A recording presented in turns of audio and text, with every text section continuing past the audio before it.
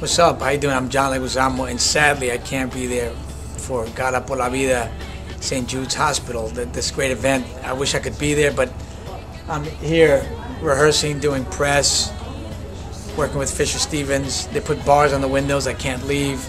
Look at the people. These are all people who will chase me down. Um, you know, it's basically under rehearsal arrest.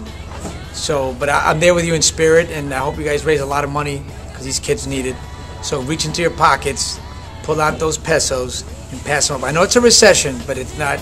It's not an excuse.